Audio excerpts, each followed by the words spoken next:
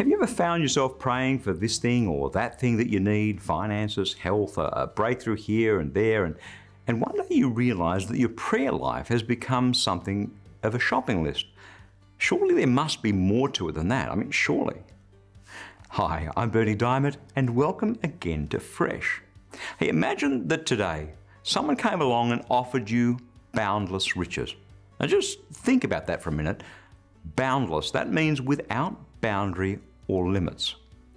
Not just $2 billion or pounds or whatever your currency is, not just 10 or 100 billion, but riches without limit.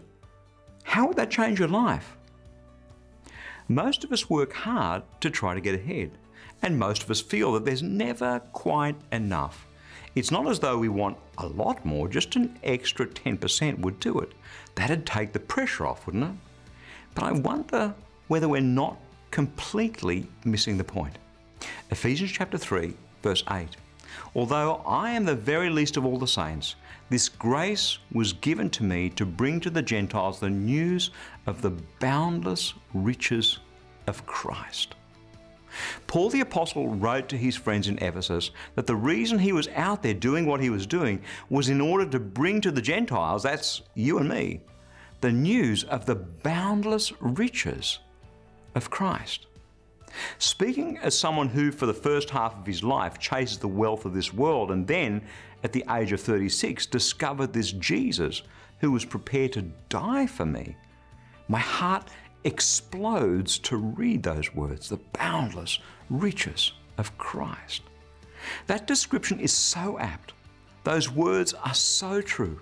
The riches we have in Christ and through Christ are truly boundless. The things of this world, sure, they're nice, but the boundless riches of Christ, well, hallelujah.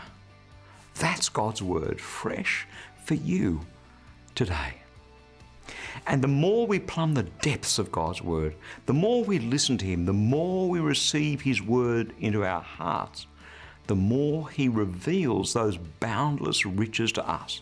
Seriously. So let me encourage you stop by at ChristianityWorks.com, head across to our media lounge, and there you'll find literally thousands of messages on all sorts of different subjects, conveniently arranged so that you can find exactly the teaching that you need for today. Again, you'll find that media lounge at ChristianityWorks.com.